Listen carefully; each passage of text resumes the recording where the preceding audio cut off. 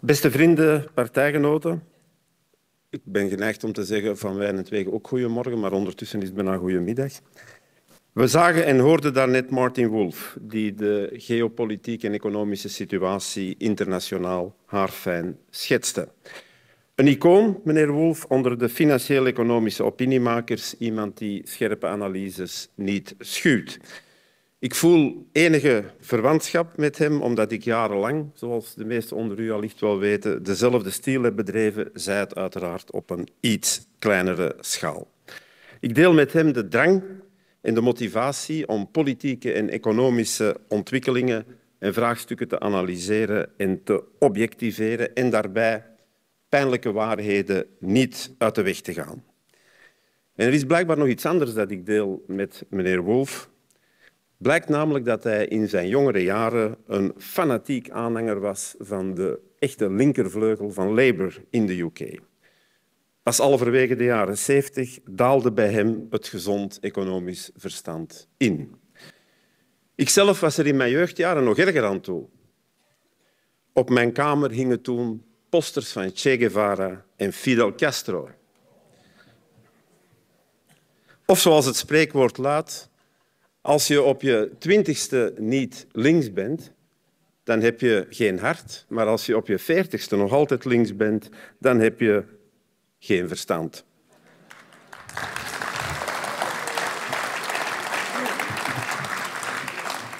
Het is een quote die toegeschreven wordt aan Winston Churchill, al is daar geen bewijs voor en is het dus misschien wel een fake quote. Laat, mij ons, of laat ik mij tot de feiten beperken. De vraag is nu, hoe staat België en vooral Vlaanderen ervoor op dat mondiale, of in die mondiale uh, omstandigheden die meneer Wolf net uh, geschetst heeft en die op zijn zachtst uitgedrukt toch een beetje uitdagend zijn. Zijn we klaar om als lidstaat van de EU verder te kunnen groeien in die wijzigende wereldwijde context? Wat is er nodig om Vlaanderen de welvaart te geven die het intrinsiek kan bereiken? Laat me beginnen met een bekentenis. Ik heb heimwee naar de periode met Chris Peters. En dat meen ik oprecht. Maar let wel, elk woord in de zin die ik daarnet gezegd heb, is van belang. Ik heb niet gezegd dat ik Chris Peters mis. Toen we met de NVA toetraden tot de Zweedse coalitie, namen we verantwoordelijkheid op. En we zijn erin geslaagd om op cruciale domeinen een trendbreuk te realiseren. Een sterke veiligheidsagenda op binnenlandse zaken, belangrijke veranderingen op defensie, een streng marimaan migratiebeleid en een sociaal-economisch beleid dat gericht was op het saneren van de begroting en het stimuleren van economische activiteit en jobcreatie. We hebben als partij een verschil kunnen maken op een beleidsniveau dat we niet echt genegen zijn, maar dat helaas nog steeds in belangrijke mate bepalend is voor de welvaart in Vlaanderen. Laat me u even terug meenemen in de tijd. Dankzij een beleid van loonmatiging, we deden een vermalendijde indexsprong en een versterking van de wet op de loonnorm, dankzij ook de verlaging van belastingen op arbeid via de ook al vermalendijde taxshift, steeg de werkgelegenheid in de periode tussen 2014 en 2019 met 316.000 jobs, of gemiddeld 63.000 jobs per jaar. Ter vergelijking, in de 15 jaren die daaraan voorafgingen, waren er dat jaarlijks 36.000, dus eigenlijk maar grosso modo de helft. En het dieptepunt was de regering Di Rupo met een gemiddelde van 8.000.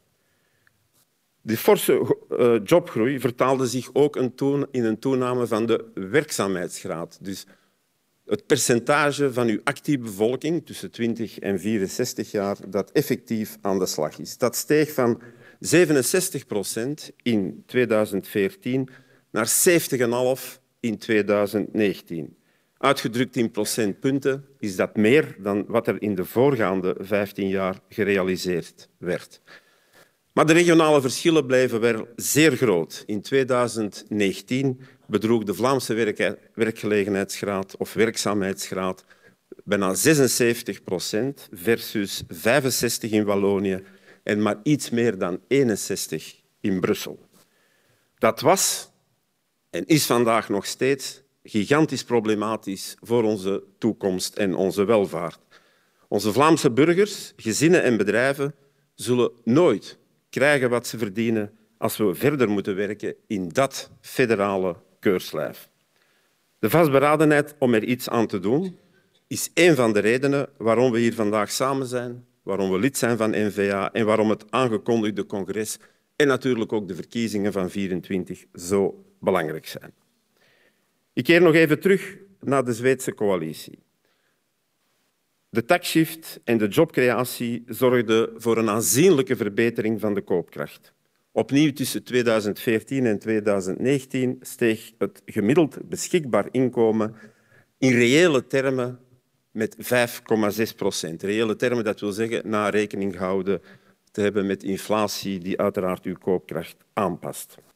De koopkracht steeg het meest voor mensen die werkten. U herinnert zich wel onze slogan werken lonend maken. Wel, dat was uiteindelijk meer dan een slogan. Het werd effectief beleid. De taxshift verhoogde de netto-lonen met 2 tot ruim 8 procent. Werknemers met de laagste lonen kregen, en dit is een studie van Deloitte, er tot 3.300 euro extra per jaar bij. En nog groter was uiteraard de koopkrachtverbetering voor al diegenen die aan een job kwamen en op die manier een inkomen konden verwerven. Dit wil allemaal niet zeggen dat de mensen die niet actief konden zijn op de, op de arbeidsmarkt in de kou bleven. De sociale minima, zoals bijvoorbeeld het leefloon en de uitkeringen voor personen met een handicap, werden met 4 tot 10 procent verhoogd bovenop de indexeringen. In die periode daalde het armoederisico aanzienlijk. Om dat sociaal beleid te kunnen voeren, om de belastingen te verlagen, om welvaart en jobs te kunnen creëren, was de versterking van ons economisch uh, weefsel van absoluut belang. Onze bedrijven moesten meer ruimte en zuurstof krijgen om te kunnen investeren en jobs te creëren. In 2014 keken die bedrijven tegen een loonkostenhandicap van bijna 10 procent aan. En die handicap hebben we tijdens de regeringsdeelname quasi volledig weggewerkt. Bovendien hebben we, net omdat we gezien hadden hoe er, kon, er ontsporingen konden ontstaan, de wet op de loonnorm, om die loonkostenontwikkeling in de hand te houden, ook versterkt. En bij dit alles deed de taxshift een extra daad in het zakje. Door een verlaging van de werkgeversbijdrage aan de sociale zekerheid verbeterde de positie van het bedrijfsleven structureel. Ik kijk nu, in vergelijking met Vivaldi, dat er niet eens in slaagt om het weinig ambitieuze regeerakkoord gewoon uit te voeren, deden wij er nog een schepje bovenop. Namelijk door de hervorming te verwezenlijken die niet eens in het regeerakkoord stond, namelijk die van de vennootschapsbelasting. Ik herinner me zeer goed toen ik dat thema aankaartte bij onze voorzitter, hij onmiddellijk met zijn voor met zijn wijsvinger naar zijn voorhoofd wees van Johan, je bent op je kop gevallen, het staat niet in het regeerakkoord, hoe gaan we dat in godsnaam kunnen halen? Maar we hebben het gedaan. De fiscaliteit werd vereenvoudigd, het algemene tarief werd verlaagd van 34 naar 25 procent en zelfs nog meer voor KMO's. De resultaten bleven niet uit. Onze export nam een nieuwe vlucht en dat is uiteraard vooral een prestatie van de Vlaamse bedrijven. De bedrijfsinvesteringen stegen sinds 2014 elk jaar sneller dan de groei van, het, van de ganse economie. In reële termen gemiddeld 3,7 punt per jaar voor de periode 2014-2019. En dat verbeterde economische klimaat trok uiteraard ook meer buitenlandse investeringen naar ons land en die kwamen gelukkig vooral in Vlaanderen terecht. Kortom, minder belastingen, meer groei, meer jobs, meer investeringen. Last but not least, in die hervormingsagenda de pensioenhervorming. Dat was allicht de belangrijkste hervorming van de sociale zekerheid sinds 1945. En ze was brood, brood nodig om de pensioenen ook voor toekomstige generaties veilig te kunnen stellen. Het is niet voor niets dat België ten tijde van de Zweedse coalitie door de OESO gerangschikt werd in de top vijf van landen die het meeste vooruitgang hadden geboekt op het vlak van structurele hervorming. Uiteraard moet ik ook iets zeggen over de begroting.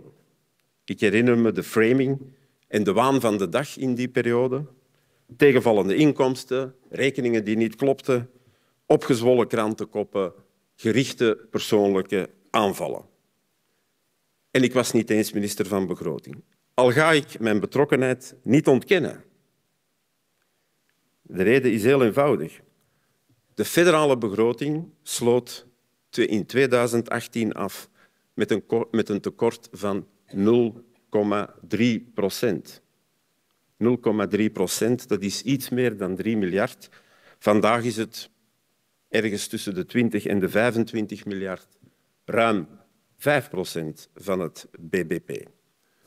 De staatsschuld daalde toen ook onder de 100 procent, iets waar we vandaag enkel nog kunnen van dromen.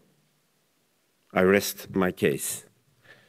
U vraagt zich misschien af waarom ik dat Zweedse palmares nog eens bovenhaal. Het is uiteindelijk al een tijdje geleden. Maar ik doe dat om aan te tonen dat wij wel degelijk het verschil kunnen maken. Kunt u zich voorstellen hoe die cijfers er hadden uitgezien als de CD&V van meneer Peters niet met slepende voeten elke dag opnieuw op de bagagedrager had gezeten? Of kunt u zich voorstellen hoe het resultaat er had uitgezien als de N-VA niet in die regering had gezeten? Wel, ik denk dat het eigenlijk niet zo moeilijk is voor u om zich dat in te beelden. Want het is exact dat wat we nu al bijna vier jaar meemaken. Vandaar de heimwee. Als ik het gepruts van Vivaldi zie, dan raakt me dat echt en recht in mijn sociaal-economisch hart. Op het vlak van hervormingen is er al lang geen enkele zinvolle ambitie meer. CD&V en Open VLD staan erbij en kijken ernaar. De begroting staat aan de afgrond, de ontsporing is compleet.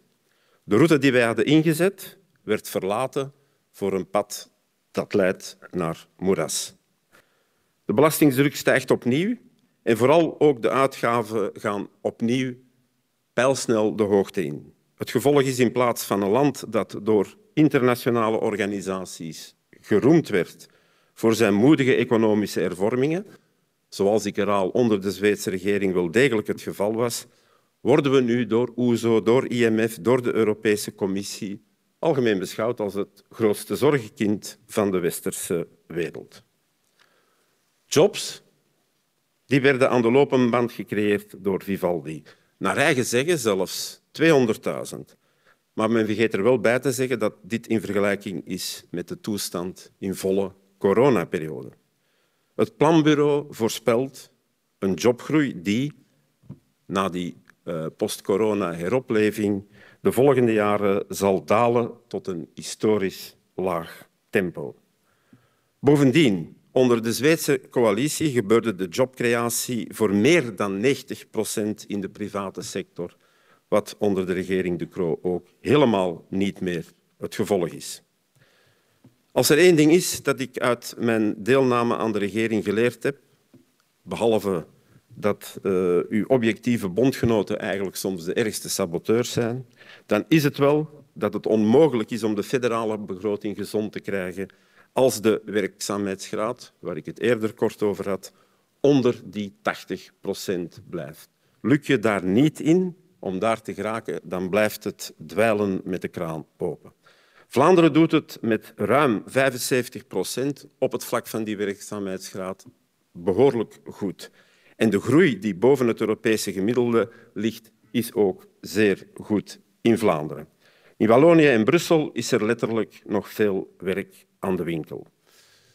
Het is al jaren geleden dat ik die 80% doelstelling in zaken werkzaamheidsgraad in interviews meermaals heb laten vallen. En groot was dan ook mijn verbazing toen ik zag dat Vivaldi het daarna ook opnam in zijn, in zijn regeerakkoord. Ik dacht oprecht, way to go.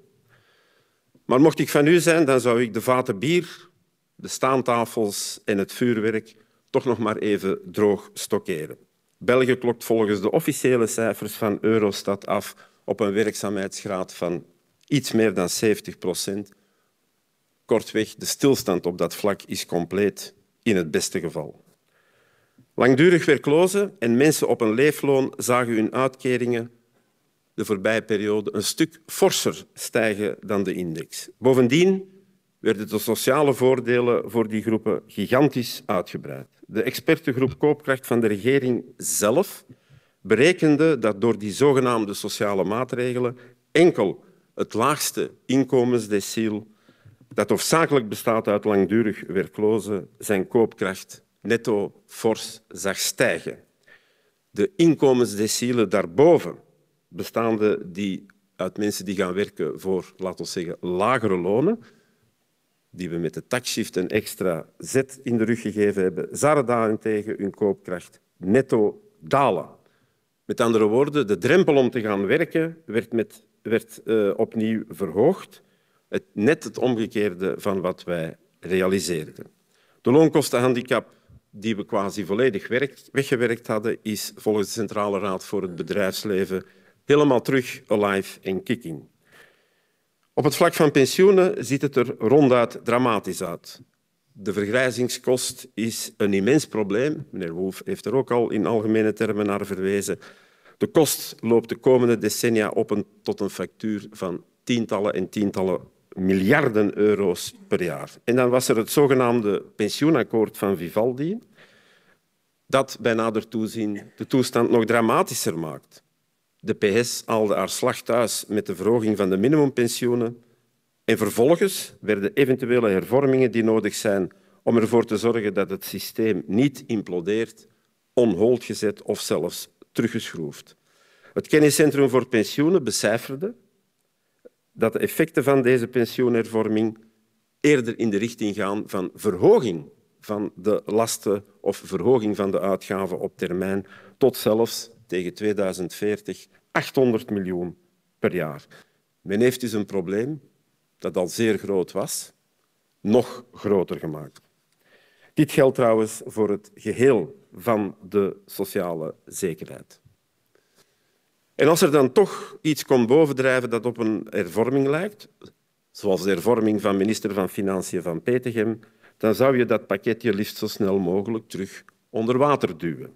Een fiscale hervorming die quasi niets oplevert voor werknemers en waarvoor vooral Vlaamse ondernemers een forse prijs moeten betalen, heeft men daar jarenlang op moeten studeren. Op een plan waarvan men wist dat het nooit verder zou geraken dan de planfase, dat het niet zou worden uitgevoerd en dat niet meer zal zijn dan een slag in het water, of beter gezegd, beter gezegd een slag in het gezicht van Vlaamse bedrijven. Ondertussen werd wel de belastingsbrief genderneutraal gemaakt. Je, je verzint het toch niet. Al het voorgaande heeft uiteraard ook budgettaire implicaties en ook die zijn, ik heb er al een paar keer op gewezen, maar we moeten het toch wel echt goed voor ogen houden, ronduit dramatisch. Volgens het Internationaal Fonds heeft België tegen 2027 met voorsprong het grootste structurele tekort van de eurozone. Sterker nog, als we kijken naar de evolutie tot en met 2027, zien we bijna alle landen in de eurozone hun budgettaire toestand verbeteren. Geen enkel ander land komt nog maar in de buurt van de budgettaire verslechtering die bij ons verwacht wordt. De slechtste begroting en de laagste economische groei van Europa, stilvallende arbeidsmarkt, een stijgende rente en toenemende schuldenberg. Als u al niet erg optimistisch was na wat u van meneer Wolf hebt gehoord, voilà. Beste vrienden, tot zover de feitelijke State of the Union. Het ziet er niet bepaald rooskleurig uit, maar aan de kant blijven staan is geen optie. In de Zweedse coalitie hebben we verantwoordelijkheid opgenomen en met resultaat. Het aankomende congres en uiteraard de daarop volgende verkiezingscampagne zijn uitgelezen momenten om te tonen dat we daar opnieuw klaar voor zijn. We zijn klaar om opnieuw verantwoordelijkheid op te nemen in het belang van Vlaamse gezinnen en Vlaamse bedrijven. Maar dat zal niet meer lukken in het huidige federale model. Dat is volledig op, dat is uitgeleefd, dat is op sterven na dood. Aan de andere kant van de taalgrens is de Franse gemeenschap zo goed als failliet. Bij Belfius, de huisbankier van het Waalse gewest, weten ze daar ondertussen alles van. Op lange termijn is de situatie onhoudbaar, financieel en politiek. De PS wil het falende beleid dat als decennia wordt toegepast in Wallonië de facto ook opleggen aan de Vlaming.